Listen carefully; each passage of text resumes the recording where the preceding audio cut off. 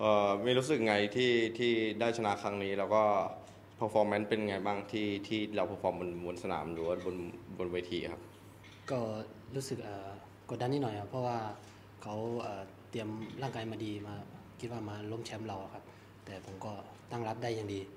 คิดว่าทำได้ดีครับผมชนะได้ก็ดีใจครับครับ so he feeling it's a lot of pressure because he think Marat is already preparing himself to knock the champion out so it's a lot of pressure on him but he performed everything in the ring so he, did, he I think he did his best he said เขาบอกว่าครั้งนี้เป็นครั้งที่สี่ที่จะต่อยกับมาลาดแล้วทุกครั้งเมย์ชนะสี่รอบแล้ว เมย์คิดว่าไงที่จะเจอมาลาดอีกรอบหนึ่งไหมหรือว่าไม่มีวันเจอแล้วโอ้ก็คงจบเกมโอเวอร์ไปจแล้วบแล้วครับเพราะว่าเนี่ยผมก็ชนะอยู่แล้ว ไม่ไม่มีทางที่เจอกันอีกแล้วคิดว่าคงไม่ได้เจอแล้วครับหายสงสัยแล้วครับเขาคงหายสงสัยแล้ว say this is his fourth time and it's, I think it's game over for, for, for him and then I think I approved already everything for, for the fans and then the skill is a little bit different they, all, they all have different style so I think it's his game over for his him thank you